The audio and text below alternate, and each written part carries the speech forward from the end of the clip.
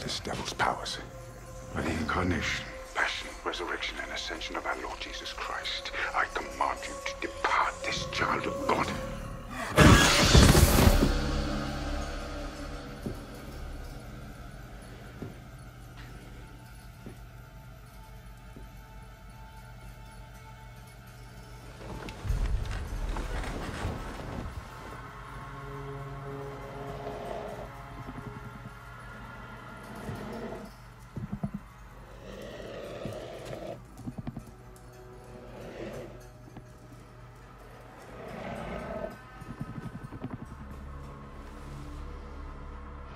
Hmm.